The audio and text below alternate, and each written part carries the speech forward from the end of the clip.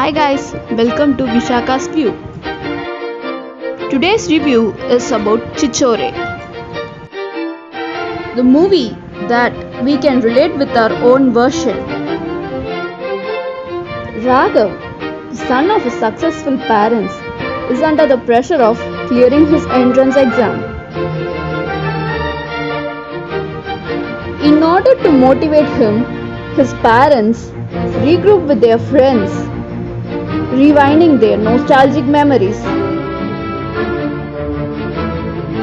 The group tries hard to bring Raghav back to his life.